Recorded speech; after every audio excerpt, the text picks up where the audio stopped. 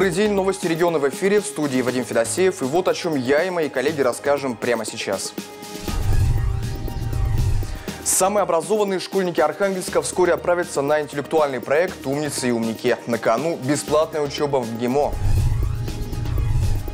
Водник принял на своем поле уральский трубник. Как закончилась встреча с одним из лидеров турнирной таблицы.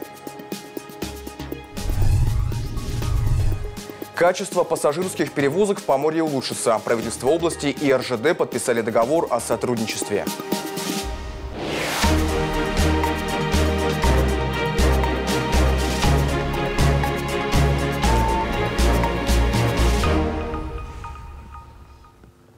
Договор о сотрудничестве подписан между правительством Архангельской области и РЖД. Подписи в документе поставили губернатор Игорь Орлов и начальник Северной железной дороги Валерий Танаев. Совместная задача обеих сторон обеспечить жителей региона качественными пригородными перевозками. Власти Поморья и железнодорожники будут определять оптимальные схемы движения поездов и размеры субсидий компании-перевозчику. Для Архангельской области это вопрос жизни, для многих населенных пунктов, людей, предприятий. И, конечно, я очень рад, что те отношения, которые у нас сложились с Северной железной дорогой, они совсем не в этом соглашении. Оно просто оформляет это в виде официальных документов, оно в тех больших делах, которые мы делаем вместе. Компания «Российские железные дороги» и Архангельская область всегда взаимо как сказать, взаимовыгодные найдет проекты, которым будет выгодно и Архангельской области, жителям Архангельской области. Ну и РЖД как главного перевозчика. Да. Спасибо большое. Тем более, что мы растем. В списке ближайших дел вопросы функционирования и модернизации железнодорожного моста через Северную Двину в Архангельске. Самых активных представителей молодежи региона пригласили на прием губернатору. В минувшие выходные в Архангельском театре драмы подвели итоги реализации государственной молодежной политики в области и наградили отличившихся. Алисия Кокина продолжит. Молодые, амбициозные и талантливые. Традиционный прием губернатора собрал самых инициативных молодых людей Архангельской области. Альберт Чункевич, председатель студенческого совета САФУ, получил от Игоря Орлова награду за вклад в развитие молодежной политики. И хоть награда именная, однако как хороший руководитель, отделить себя от студсовета Альберт не смог. Планов много. Мы очень хотим выйти в дальнейшем в город и участвовать в мероприятиях там активно, активно показывать студенческий совет студенчества Архангельской области в России. Юбилейный год региона для молодежи области оказался продуктивным. 160 молодых семей получили жилье, 12 молодежных проектов выиграли президентские гранты. Более сотни человек стали участниками федеральных форумов. Знаете, гордимся за молодежь тем, что она у нас э, неспокойная, неудовлетворенная, желающая менять что-то к лучшему, желающая Э, участвовать э, в принятии важнейших решений, которые определяют судьбу региона. Ну и, конечно, продолжающая реализовывать свои проекты, свои э, интересные э, кейсы, как они их называют. Также в числе больших побед участие делегации региона во Всемирном фестивале молодежи и студентов в Сочи, развитие студотрядовского движения, открытие регионального центра поисковой работы. А государственная молодежная политика Архангельской области показала себя на совершенно новом уровне, вышла на новые горизонты и на самом деле есть понимание, куда мы движемся. В этом году нам удалось провести на территории нашего региона самый умный и самый, наверное, теплый, несмотря на название, форум «Арктика сделана в России». Григорий Ковалев обещает, следующий год будет еще продуктивнее. Бюджет грантового конкурса для молодежи Архангельской области увеличен в два раза. Пройдет юбилейная десятая команда 29, которая поставит перед молодежью региона новые конкретные задачи. Олеся Кокина, Екатерина Исакова, Светлана Михеевская, Регион 29. Край кутников и сказочных существ. Фольклорное богатство Пенежского района будет использовано в реализации нового проекта. Общественная организация «Инициатива Пинежья» получила президентский грант – 2 миллиона рублей на развитие творческих инициатив. Чем привлекут гостей в самый загадочный район области, расскажем далее. Тихий и таинственный Пинежский край хранит много загадок. Если верить преданиям, здесь обитают самые чудные существа и духи. Все они герои северных сказок. Абдериха, Лишачиха и Банница испокон веков наводят свои порядки в этих местах. Чтобы сохранить фольклорное наследие и привлечь в район гостей, создан проект под названием «Пинежье сказочное».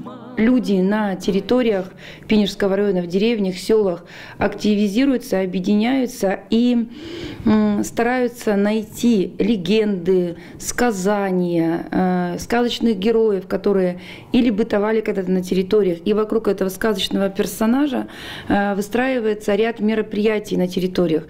Это могут быть экскурсии по загадочным местам, где, по слухам, обитают волшебные персонажи, либо театральные постановки и ярмарки. Завершится проект следующим летом масштабным фестивалем. Сейчас создатели проекта столкнулись с организационной проблемой. Не хватает квалифицированных кураторов, способных объединить жителей для совместной работы. Будет проведен цикл обучающих семинаров, будут проведены мастер-классы, будет проорганизована проектная мастерская, круглые столы, то есть целый цикл мероприятий для обучения людей. И мы предполагаем, что часть часть каких-то культурных инициатив будет иметь предпринимательскую активность, и люди на этом станут зарабатывать деньги. Местные жители смогут принять участие в ярмарках и попробовать реализовать коммерческий потенциал своих проектов. На примере успешных предпринимателей они узнают, как развить ремесло и превратить его в успешный бизнес. Ирина Ившина, Евгения Скворцова, Регион 29. Печальная новость. На 71-м году после продолжительной болезни ушел из жизни Шихонин Алексей Евгеньевич. Он родился в маленьком южном городе Ейске, но вся его жизнь была связана с Архангельском. Здесь он работал в траловом флоте, пройдя путь от второго штурмана до капитана. Последние годы жизни трудился в техникуме водных магистралей. Алексей Евгеньевич пользовался заслуженным уважением и оставил добрую память о себе как о профессиональном работнике и отличном человеке. Воспитал сына и дочь, был счастливым дедом и прадедом. Выражаем глубокие соболезнования родным и близким. Прощание с Алексеем Евгеньевичем пройдет завтра в 10 часов утра в морге больницы имени Симашко. Школьники Поморья успешно написали выпускное сочинение. В регионе подвели итоги первого аттестационного испытания. 6 декабря ученикам необходимо было продемонстрировать знания русского языка и литературы. Только в случае положительного результата школьник получает допуск к госэкзаменам. С творческой работой успешно справились более 99% ребят. Это лучше, чем показатель прошлого года. Тем же, кто с заданием не справился, а таких областей всего 57 человек, будет предоставлена возможность переписать творческую работу. Для этого предусмотрены еще две попытки в феврале и мае следующего года. Один выпускник пронес с собой мобильный телефон и тем самым нарушил правила проведения экзамена. Его работа была аннулирована. Кодируй для Поморья. Под таким лозунгом в Архангельске открыли первый арктический хакатон. Он стал одной из площадок 16-го международного молодежного фестиваля информационных технологий IT Архангельск в САФУ. О соревнованиях программистов Владлена Романова. Написать приложение за ночь не проблема для участников первого арктического хакатона. Егор и Юрий сделали почти невозможное. Для воплощения задумки в жизнь им понадобился лишь компьютер и желание победить. Каким-то чудом и одной бессонной ночью мы выучили на начальном уровне новый для себя язык программирования, что является таким большим достижением, наверное. Приложение для смартфона вполне может понравиться молодежи. Программа поможет заботиться о здоровье. Люди смогут не консультироваться с продавцами. Совет даст гаджет. Она поможет подобрать э, спортивное питание для людей, которые хотят, допустим, привести себя в форму или удержать себя в тонусе. Хакатон – это состязание программистов. В Архангельске оно проводится в первый раз, но организаторы уже пообещали сделать его регулярным. В трех номинациях за первое место боролись семь команд. Участники должны были разработать актуальный и полезный для общества продукт. Есть небольшой опыт в разработке, однако все зависит от времени и от участников, соперников, которые будут также представлять. Ну, у нас есть два программиста, два дизайнера, так что я думаю, что вполне достаточно для написания простого приложения. Инициатив, связанных с информационными технологиями, в регионе становится все больше, и правительство области идет навстречу молодежи. Мы заинтересованы в том, чтобы э, сфера IT у нас э, в регионе развивалась, поэтому любые вот такие позитивные мероприятия, которые выявляют молодые таланты, которые потом будут, э, собственно говоря, притворять жизнь цифровую экономику, мы поддерживаем. Первое место в номинации «Лучший проект» заняла команда «Архдев» с идеей о подборе данных о дополнительном образовании. Победители всех трех номинаций получили не только дипломы участников, но и возможность реализовать свою идею в Архангельской области. Владлена Романова, Юлия Митина, Денис Линчевский, Регион 29. В Архангельске закончилась регистрация на четвертую гуманитарную олимпиаду школьников «Наследники Ломоносова». Победа в ней откроет нашим юным эрудитам двери на интеллектуальный проект «Умницы и умники». В Олимпиаде принимают участие ученики 10 классов. На отборочный тур зарегистрировалось 125 человек, что почти на треть превышает количество участников прошлых лет.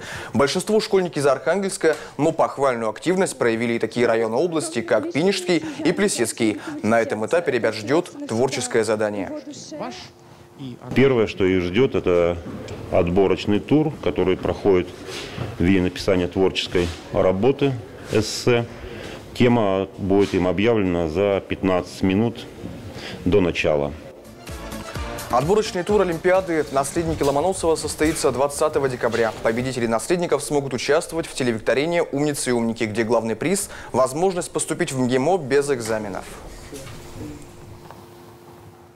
Архангельский водник провел очередной матч в рамках российской хоккейной суперлиги. На домашнем льду желто-зеленые встретились с одним из лидеров нынешнего первенства – уральским трубником. Подробности игры в нашем следующем сюжете. В Архангельск на игру против Водника уральский трубник приехал в статусе явного фаворита. Подопечные Алексея Жеребкова имели 21 очко после 8 игр и замыкали лидирующую тройку, уступая вторую позицию Красноярскому Енисею только по разнице забитых и пропущенных мячей. С первых минут уральцы бросились оправдывать звание лидера и уже в начале встречи создали несколько опасных моментов. А на седьмой минуте молодой защитник Водника Данил Кузьмин сфорил собственный штрафной и судья не колебаясь указал на точку. Но подошедший к мячу Максим Ширяев переиграть вратаря Водника Михаила Шиляева не сумел. После этого эпизода остроты в атаке Трубника заметно убавилось. Желто-зеленые напротив стали чаще выходить из обороны, но создать что-нибудь серьезное у ворот гостей архангельские хоккеисты не могли. В итоге голевое молчание в матче нарушил нападающий водника Александр Насонов. Приняв дальний заброс от Ивана Козлова, Насонов в ближнем бою переигрывает вратаря уральцев. Во второй половине игроки в белой форме стали постепенно наращивать давление, но архангелогородцы успешно действовали в обороне и пытались контратаковать. Как результат, главным героем встречи стал голкипер водника Михаил Михаил Шиляев, который раз за разом отражал броски по своим воротам. А на 77-й минуте второй раз за игру был вынужден демонстрировать умение действовать на ленточке. Данил Кузьмин снова нарушает правила штрафной площади и на этот раз получает уже красную карточку. К точке подошел уже Дмитрий Сидоров, но и у него не получается пробить Шиляева. Все удары, я думаю, тяжело было, было отражать. Уральский э, трубник очень сильная команда, мы знали нас, настраивались с этого. Так что, в принципе, ребята молодцы, хорошо играли. Подставлялись под мячи. А это пенальти – это удача. До конца игры уральский трубник так и не смог поразить ворота водника. И первый раз в сезоне ушел со льда без забитых мячей. А вот желто-зеленые под занавес встречи смогли снова порадовать своих болельщиков. Уже в добавленное время Александр Тюкавин устанавливает на табло окончательный итог встречи 2-0. Очень тяжелый матч. Благодарю ребятам. Сыграли неимоверно, скажем так, э, гениально в обороне. На ноль с такой командой столько моментов сняли. Вратарь сегодня потрясающе сыграл. Всех поздравляю с победой. После 10 игр регулярного чемпионата Водник имеет 13 очков и теперь занимает девятую строчку в таблице. Вадим Федосеев, Михаил Меньшенин, Денис Линчевский, Регион 29. В ритме снежной румбы прошли минувшие выходные в столице Поморья. На протяжении двух дней совсем юные уже профессиональные танцоры соревновались за кубок главы города. О первом дне танцевального конкурса расскажет Екатерина Широкова. До выступления Алисы и Димы остаются считанные минуты. Перед выходом на танцпол ребята из Наринмара оттачивают каждое движение. В прошлом году юные танцоры успешно выступили на архангельской сцене и заняли первое место за исполнение венского вальса.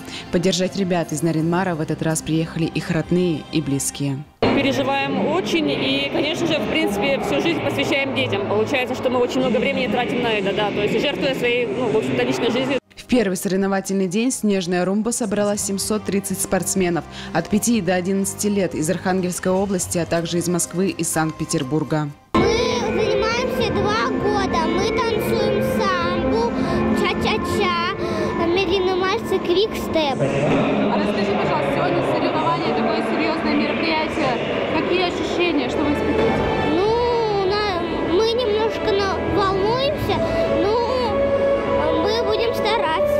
Традиционно конкурс проходит два дня. В первый европейскую и латиноамериканскую программу показывали совсем юные танцоры. Во второй сошлись профессионалы танцевальных па. Эти соревнования очень полюбились э, жителям города Архангельска. Приезжает очень много приезжих э, судей с города Москвы, Санкт-Петербурга, Ярославля, э, Вологодская область. Мероприятие очень массовое, достойное, красивое, и все хотят на него попасть и поучаствовать. Снежная румба в Архангельске проходит уже в 16 раз. За это время любительский проект вырос в престижное и масштабное соревнование и стал праздником танца не только для участников, но и для зрителей. Замечательные соревнования, очень интересно, ярко, красочно и эмоционально.